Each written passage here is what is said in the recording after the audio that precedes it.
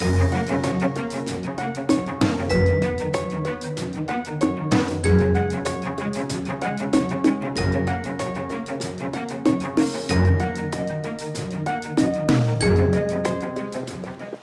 morning everybody, it's Phil 20 and I've got some uh, power saving tips for the snow for you. If you have a heat pump, you got to clear the snow out from underneath your unit.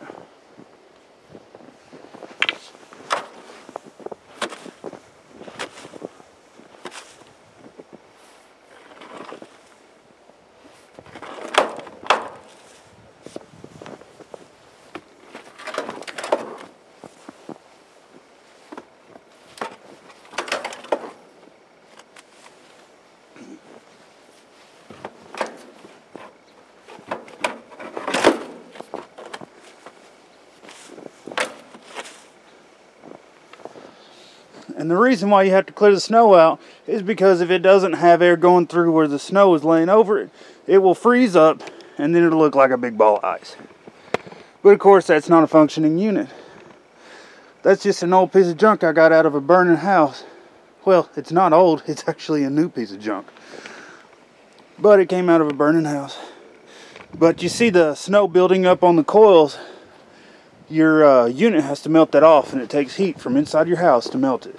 So clear out the snow real quick. What's up ladies and gentlemen YouTube everybody out there. It's Phil 20 today and I started cleaning off the solar panels. Don't look like much but uh, you can look down here. That's pretty thick. We got six inches or so of snow and tomorrow's going to be the best day to test the solar array out. So I need to get the snow off of it. So the sunlight will start melting the snow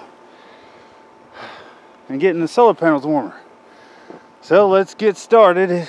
What's up ladies and gentlemen youtube everybody out there in youtube land? It's philip 20 today and i'm blinded by sun and uh, the uh, solar panels uh, are not too dark. It's easy to look at the panels, but everywhere else you look is covered in snow. Yeah, we had our first good snow of the year. We had a little dusting once before, nothing major, but this was six inches deep. Pretty sweet, huh? So basically, we're looking at solar panels. I cleared them off today. My other camera was dead, so I'm using my phone. I was going to do a time lapse, but basically I went up all the way across the top and then I uh, pulled with a uh, thing. I pulled all the snow up and then went across and then down and all the way to the left and then down and then uh, I didn't go across the front because I'm just a wimp. It's right, I didn't do the front right there too well. The sun is super bright. It's coming in and out. It's getting cloud effect. But, I mean, I'm getting right now about 2,500, 2,600 watts out of a 3,700 watt solar array. Uh, well, I mean, you know, I still got some of the cells covered up with obviously white snow. It's melting quickly. Let's see if it's warm. Yeah, I bet you that panel's 40 degrees. So it's melting pretty quick and you can see how deep the snow is. This, these panels are eight inches off of the ground, right? Well, the uh, snow has built up. I mean, there's six inches of snow here, and it was like six inches on top of this, maybe maybe seven inches of snow. I haven't measured it, but let me tell you, these panels are eight inches off of the ground, and you can see how close it is over there. And over there, it's almost all the way up to the panel. There might be eight inches of snow.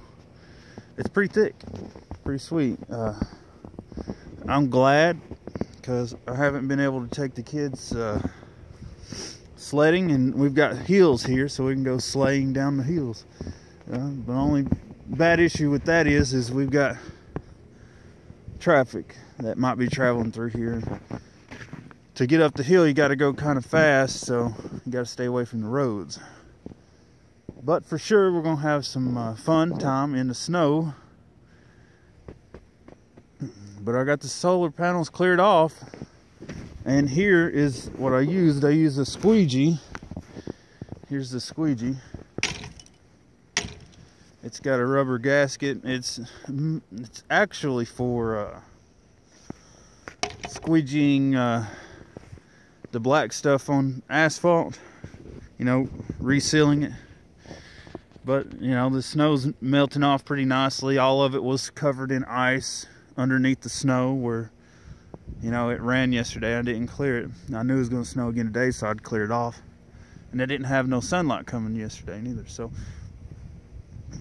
we're doing pretty good. But, uh, you know, like I said, we got a little bit of snow left on there, and I'm to knock that off and let you guys go. This is Philip 20 with solar power, electricity, and electronics. I'm gonna holler at you later. Hello, ladies and get gentlemen. Thanks for watching all the way to the end of the video. There's lots more content coming. Click the subscribe button below. Make sure you come back for more because there's great content always coming up every day in this channel. See you next time. Peace.